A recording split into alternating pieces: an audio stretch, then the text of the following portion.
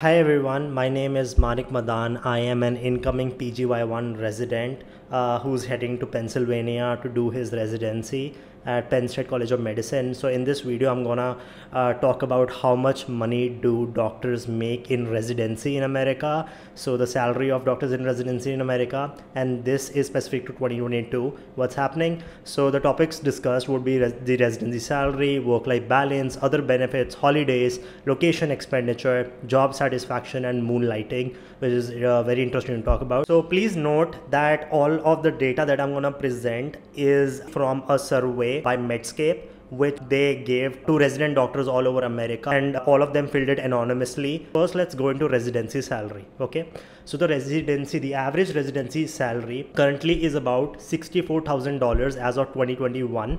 Uh, like, you know, and this means uh, salary, eh, this is the average across all the years and across all the locations. So, right, so when you start your residency, you'll probably make less uh, then $64,000, right? Like about 57, and then it will keep on increasing uh, year by year. So I'll get into that. So the average residency uh, resident salary has been increasing by about uh, three percent if you look from 2017, and it will keep increasing like this. Uh, probably hope so. Uh, and the variation. So let's talk about so the residency salary. This is the average estimate, sixty-four thousand dollars. It varies uh, state by state uh, and it also varies like year by year so yearly okay so the idea is that as you become more senior and as you get more experience in your residency what happens is you become more valuable to the hospital. Number two you become far more competent. So you need to be paid more right? So that's why residency salary increases year by year. So in year one you might be earning about $57500 but then in year six to eight you're gonna be earning $70300 uh, so it increases uh, yearly. Secondly location variation. So what happens is uh, let's talk about new york city so new york city is extremely expensive. They they have like multiple taxes. So there's uh, the federal tax the state tax and then the city tax for new york city right? And so these people have like also in new york everything is very expensive. Commodities are very expensive. So the salary in new york is very high so that you can offset the cost of living in new york. But let's say uh, we talk about florida. So in florida what happens is uh, there is uh, like no tax, right? And because there is no tax in Florida, the residency salaries are low. Uh, if we go to Oakland, again, residency salaries are low because the cost of living in Oakland is very low. Now let's talk about my salary. So I am going to Pennsylvania, specifically Hershey, and my salary as of like will be this. So I'll be doing my uh, four PGY years from uh, my residency program and my starting salary would be about $63,000 and then in PGY2 it will become about $66,000 and in PGY3 I'll be making $68,000 and PGY4 I'll be making about $71,000 if you can see that. So in total in all my four years I'll be making close to about $267,643 when you combine all of them. So my average salary for four years would be 66,910 uh, dollars per year so about $67,000 per year. So that's actually pretty great. I am pretty happy with that. And uh, considering that I'm going to Pennsylvania uh, and Hershey, uh, like the where like the cost of living is not that much. For example, uh, the housing that I'm taking is uh, the housing uh, in my college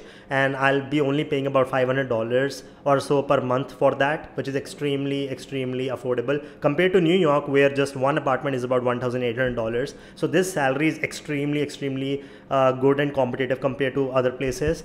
Uh, now let's talk about work life balance because we have to like be considerate of work life balance when we're talking about salary. The maximum number of hours according to this certain mandate that a resident can work is about 80 hours. You cannot more work more than 80 hours a week right? And most residents work less than about 70 hours per week so you can see uh, this is uh, from the medscape survey uh, like which uh, surveyed residents all across America uh, anonymously and they reported their findings. So you'll be seeing that about 78% of residents work less than 70 hours a week, which is not a lot, right? 70 or 70 hours a week. In your first years, PGY one years, you'll be working about 70 hours, you'll be working a lot. And as you progress along that ladder of PGYs, like as you become more senior, you'll be working less and less. Second thing to consider here if you are in a certain specialty like surgery emergency medicine or uh, like you know those kind of specialities you'll be working far more compared to specialties like psychiatry so IM surgery you'll be putting in a lot more hours than people who are uh, going into certain specialties like radio radiology or uh, psychiatry. Second thing to consider is this hospital hours per week also differs location by location. For example if you're in new york city where there's just so many patients to serve there are so many people to serve you'll be working a lot. Versus let's say like you know in pennsylvania or where the population isn't much like new hampshire. University programs you work a bit less compared to community programs. Uh, so let's talk about salary per hour because that's like wage per hour because that's very important to talk about. So let's say like let's say you'll work a maximum of 70 hours a week right? So 70 into 52 is about 364 hours for the whole year. So salary per hour would be about average salary per hour for resident would be $64,000 by 3,640 hours. So that would be about $17.6 per hour. That's how much wage you'll be paid.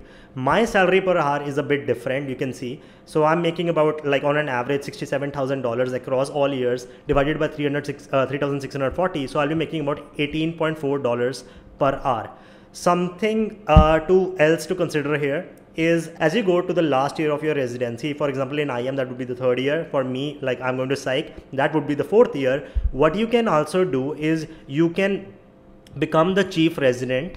And if you become the chief resident you'll be making about three to five thousand dollars extra per year. Extra per year. So this like what a chief resident means is you take part in the administrative uh, work of the program and you uh, because of that you are paid a bit extra. So about 3000 to 5000 dollars per hour. So that is something else to consider. Another thing to consider is nights on call per month. So most residents work about 1 to 5 nights uh, on call per month. That is uh, like something to consider. What are the extra benefits you get? So every residency program gives a certain meal allowance uh, to the residents per month so that you can buy food. And uh, that is about like the maximum i've seen is about $300 per month uh, up to $300 per month. So you can buy your lunch if you want from there dinner from there and the residency program will get give you this card uh, and with uh, like money or credit on it and you can use that to buy meals. And trust me the meals you get in american hospitals are amazing I've had uh, like some in uh, the rotation that I did at Jackson Park, and I was a big fan. That was something I always used to look up to. Second thing to consider is free meals. So a lot of residency programs they give free meals to their residents, you know, on on a certain day. But this is an exception rather than the norm. Doesn't really happen a lot, but it does happen. Uh, then you also get educational stipend. Not all residency programs do it, but a lot of them do. Uh, and you can get an educational stipend of about like up to $600 per year. I've also seen one residency program giving an educational stipend of, of about $1,000 per year. So it can even go further like for some residency programs. And what an educational stipend really means is you're getting money for textbooks. You can also get money for like, let's say you want to give your step three. So you can get money for that. So let's, or maybe you want to buy an iPad or maybe a laptop or maybe a course like a board review course for your residency. So you'll be given about like up to $600 per year to spend on these things conference allowance. So and uh, the maximum i've seen for this is up to $1500 per year. So a lot of residency programs they want to promote uh, paper presentation poster presentation and a lot of them like these research based activities these uh, like you know academic activities and they want their residents to go and uh, represent their program uh, in certain conferences. So and for that the residency programs uh, shed out money of about one like are ready to pay for like you know up to $1500 per year. Uh, this includes uh, your hotel stay any flight tickets food expenditure and all of that so that's great so you also get retreats what i mean by retreats is so like to prevent burnout in residency a lot of pro- uh, programs have these uh, retreats planned out. It can be annual retreats, it can be uh, retreats uh, twice in a year, or it could be monthly retreats. So there are so many retreats that you can go on, like where the residency program takes you for certain activities like paintball, or like they take you out uh, like on a lake or any nearby uh, destination where you guys can relax. Uh, and uh, this also increases bonding. Uh, and like you you guys get to talk like in the residency program. So everybody gets to bond everybody gets to play and you know it's just fun. Sixthly you also get insurance including vision dental insurance malpractice insurance short term and long term disability insurance. What else to consider here is like this thing called CIR. CIR stands for Committee of Interns and Residents and is a it, it is a resident uh, body which advocates for resident rights and benefits and it is mainly associated with public hospitals. It helps like you know advocate for like you know in certain insurance plans like vision and dental plans mental health benefits of upwards of $5000 prescription medication benefits of upwards of $750 they also provide uh, conference money. They also uh, like help you get educational allowance white coats equipment. So after we're done with that let's now talk about holidays. So normally you get weekly holidays one holiday per week you get about 20 to 30 days vacation time which is paid vacation time remember that. So you can take a break uh, you know like let's say for a month that can happen. You also get about up to five days sick days if you fall sick. And again there are retreats so you get holidays for that.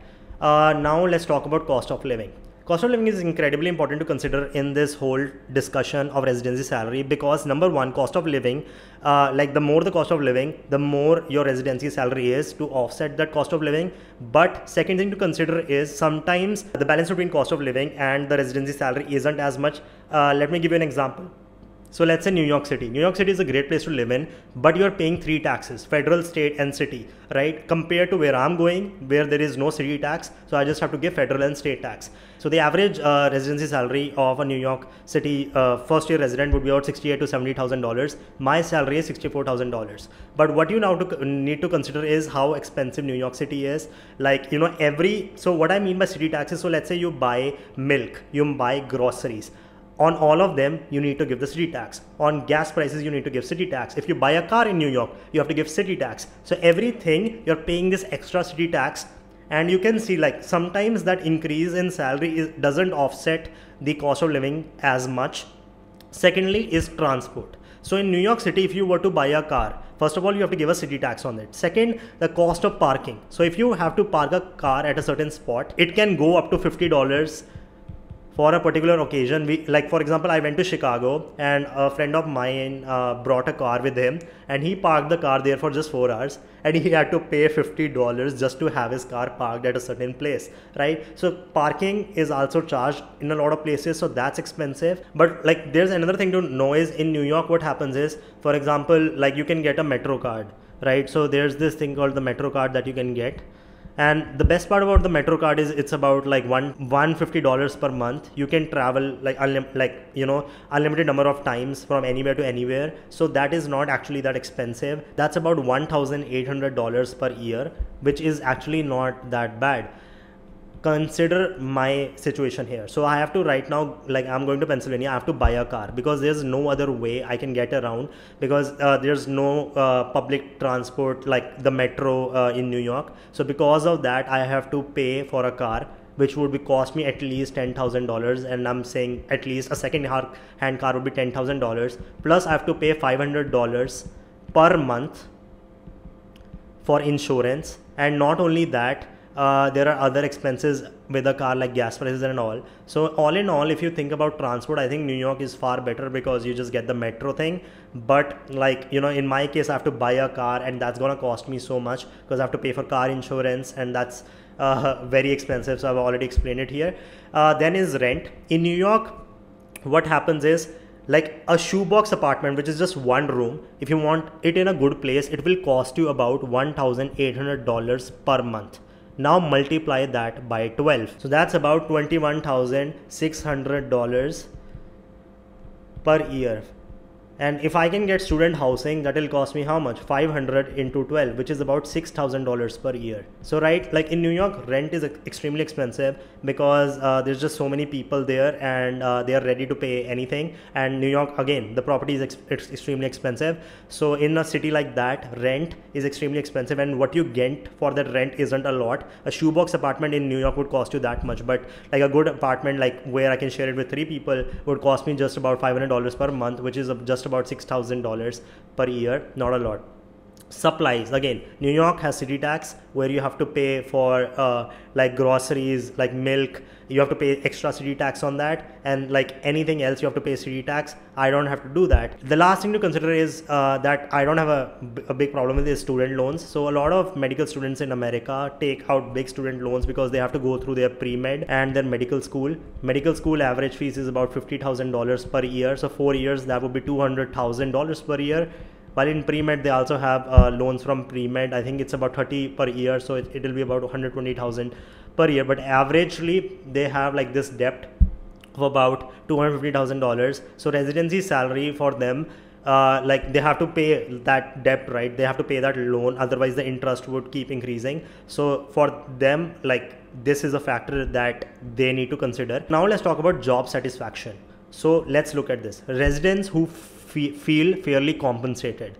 So you can see in total about 43% residents felt fairly compensated with like the amount of money they were getting paid, which is incredible. Secondly, look at the relationship with attending physicians. So an overwhelming 42% feel like it's very good, about 42% feel it's good, and then 13% feel it's fair. Great, right? Relationship with nurses and uh, physician assistants and you can see most of it is fairly positive here right? And that says a lot of good things about uh, their residency and uh, the life of a doctor in america. Now let's talk about moonlighting. So what exactly is moonlighting? So moonlighting means you uh, are working extra hours other than your residency training and for those extra hours you can be compensated but moonlighting only applies mostly to green card holders or people who have citizenship, right? If you have a visa such as J1 or H1B, you are tied to your employer and mostly you won't be allowed to moonlight, right? Because like most of moonlighting happens externally. So you go out of your hospital, right, to work in certain places and make money there. So you can do this. And this happens mostly after PGY1. So you can start this in PGY2, PGY3 uh, PGY4, you can start in PGY2 and then uh, like, you know, you can continue. And there are two kinds of moonlighting, internal external. Internal moonlighting happens within the same hospital, in the same department or in a different department. Uh, external moonlighting happens outside of uh, the whole hospital. So you can be paid. Also, if you are working extra hours other than your residency training program and your residency is asking you to work those extra hours, you can be uh, sometimes compensated for that. So guys, thank you for watching please like and subscribe if you gained some value from this video. And uh, thanks for watching. Let me know in the comments what you would like to watch next. Thank you